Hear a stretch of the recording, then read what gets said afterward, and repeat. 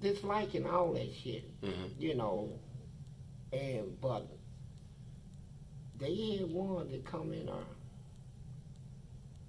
I'm talking about this motherfucker's ass was so fat, and he was this this is like a motherfucker's like your baby mama. That motherfucker's ass was fat, ungodly fat, right? Right. And he gets in the shower with me, and we was the only two in the shower.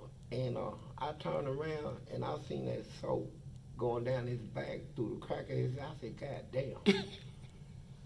and I knew I had a problem right there, right? Yeah. I mean, seriously. Mhm. I said, fuck his shit, man. I ain't, I ain't cut like that. But right? you hadn't done nothing then. I ain't done shit. Okay.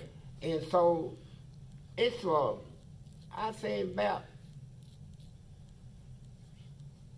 about eight to ten years in, you know, motherfucker get tired of all that jacking off shit. You know, and being that I came in so early, I didn't have no memories of girls that I don't fuck 'cause I ain't even had a woman yet hmm you know, 'cause I was in jail at 14. I ain't even fuck with a woman yet, you know, ain't never kissed one, none of that shit.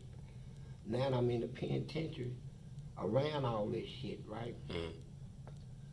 So, you know, you switch from masturbating to looking at freak magazines, hmm you know, porn magazines. Right.